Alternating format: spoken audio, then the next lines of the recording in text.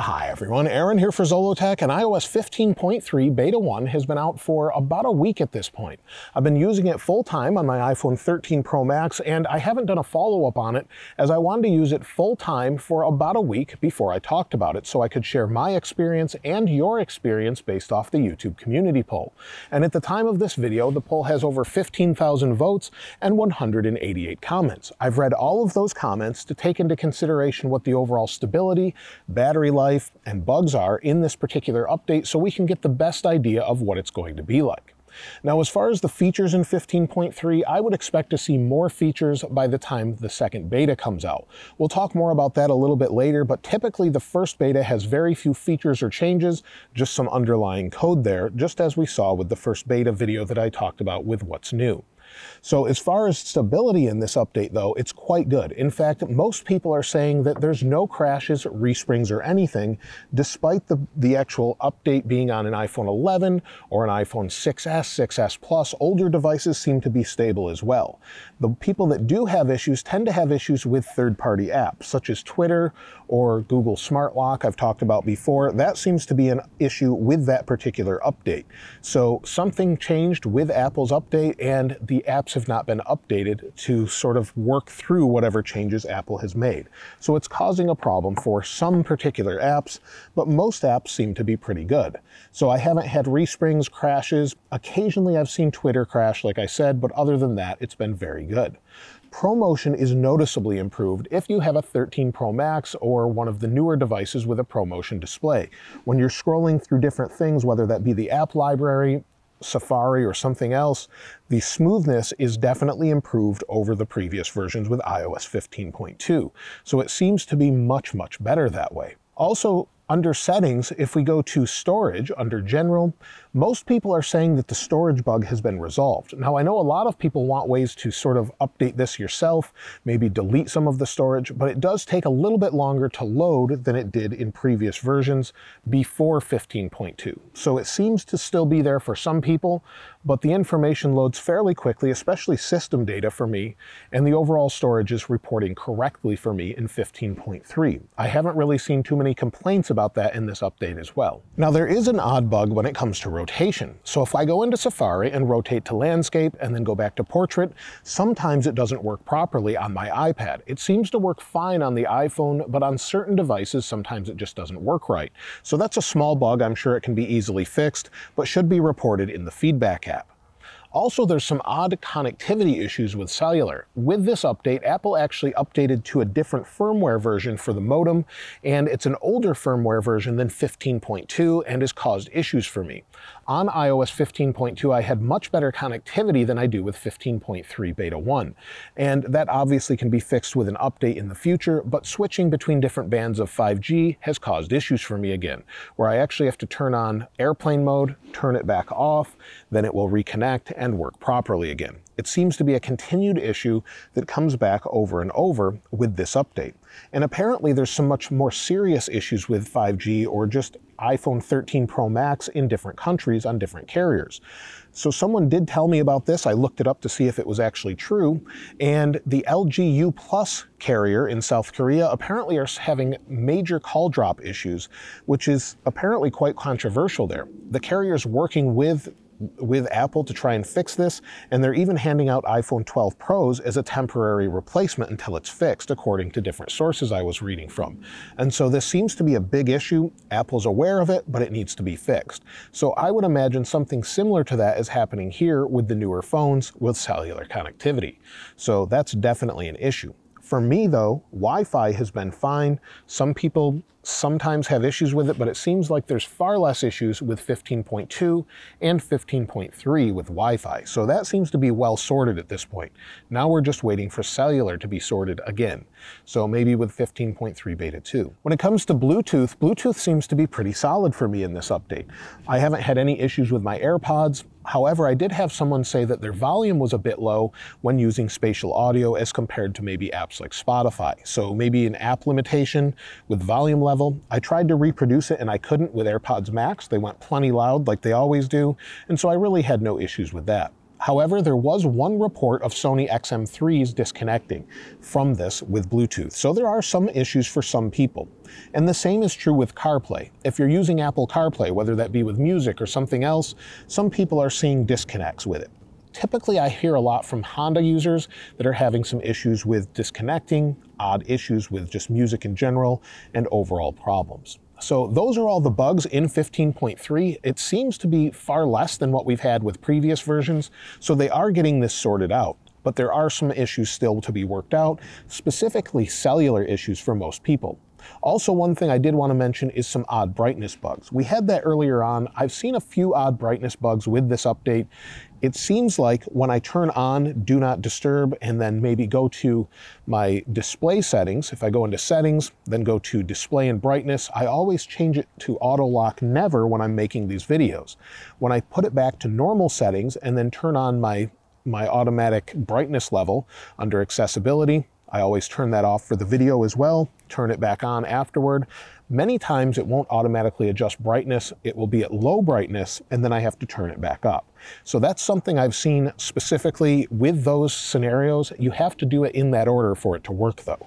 So it's a very specific thing and of course can be reported in the feedback app. When it comes to performance, performance seems to be great. Like I said earlier, if you have a ProMotion device, everything is just super smooth, buttery smooth as you're scrolling between different things, whether that be songs or anywhere else. And the same is true on older devices. Many people with this latest update say the same thing on the iPhone 11 or 6S Plus.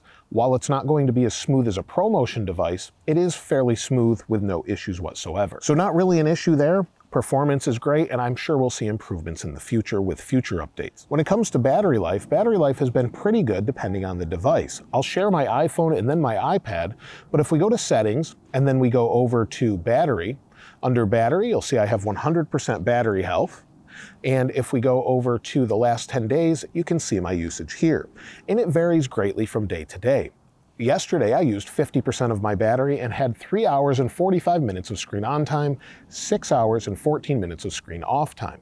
The day before, I had less battery life, but if we go a few days back, you'll see I had really good battery life a couple days ago where I used about 40% of my battery and used 4.5 hours or 4 hours and 23 minutes of screen on time, six hours and 22 minutes of screen off time. So depending on the day, it's been really, really good. However, on the iPad, it's very hit or miss. So on iPad, it's been pretty good as far as its smoothness and ProMotion. It definitely seems improved there. But again, battery life continues to be an issue. I charged this to 100% last night. You'll see I'm at 25% now. And if we look at the battery, we'll wait for it to load, and we'll see yesterday here, I used it for 4 hours and 32 minutes of screen on time, 33 minutes of screen off time. I watched a movie on here, and then I used it for about an hour today. If you look at the top here, it says last charged at 10.30 p.m. last night to 76%. So it's better than it was before, but it's very hit or miss. I'm still not getting the 10 hours of screen on time. I'm getting about five to six. So it's definitely an issue for me on this device. Smoothness and everything else is fine. Sometimes rotating it to landscape or portrait can be hit or miss, like I said.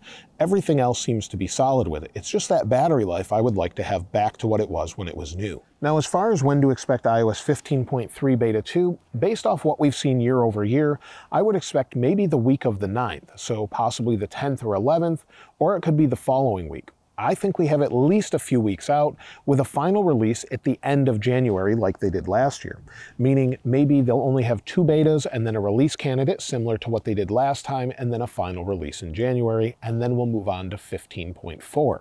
So that seems likely if they continue to do what they did last year. If not, of course, they could change this up maybe do a few different betas and extend it into February or longer. But at this point, that's what I'm expecting. Now, as far as if you should install iOS 15.3 Beta 1, I would say based off of when we expect Beta 2, probably hold off at this point if you haven't already. If you're a developer, you have an additional phone laying around, or you want to try it on your main phone, you can. Just make sure you have a backup and you can switch back with a computer if you need to do that. Otherwise, I would probably hold off and just stay on 15.2 for a little while until we see at least beta 2 at this point and see what we'll actually get with it as far as features, whether that be emojis or more.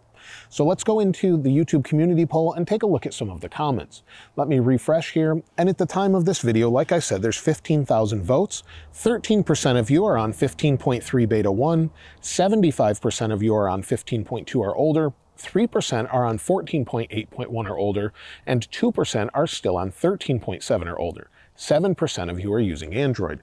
And again, thanks to everyone that voted. All of this data is very helpful. So let's go ahead and sort the comments and take a look at a few of them. Calvin H says, everything is running fine, no browsing issues, AirPods connectivity issues are non-existent, and battery life is very good. By the way, I'm running iOS 15.2 on my 12 Pro Max. Graham Evans says, the biggest improvement for me has been the battery life. It's amazing now. I still get that weird text when connecting my earpods though. iPhone 13. Michael Taylor says, I'm using iOS 15.3 Beta 1 on an iPhone 13. Everything seems to be working well. I am having one major issue with shortcuts though. I have an automation set to disable Wi-Fi whenever I leave the house. Prior to the update, the automation would run in the background and I would not have to do anything. Now on 15.3 Beta 1, the automation no longer runs automatically. Now when I leave the house, my phone prompts me to run the automation. I must click the run button to make something happen. I check the settings for the automation and the ask before running option is turned off. I'm not quite sure what is going on. This is an annoying issue and I hope they fix it soon. I think I saw something like that in the known issues of 15.2 with running automations with garage doors and things.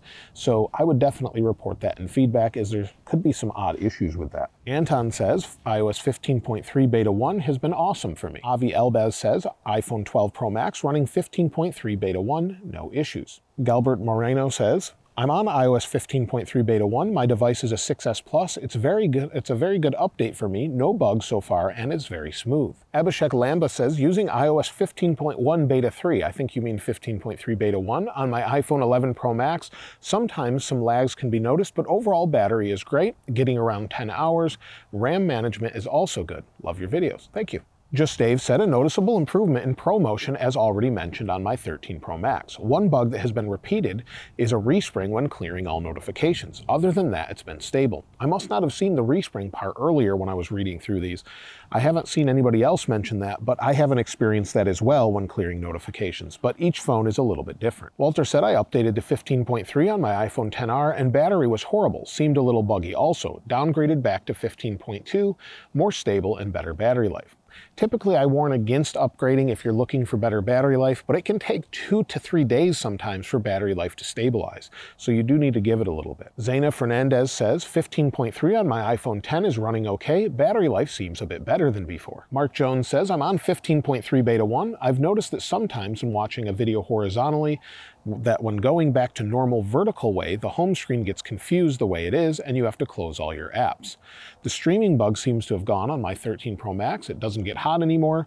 And sometimes when opening Apple Maps, it's a little slower downloading where I am, and that's with a good 5G signal.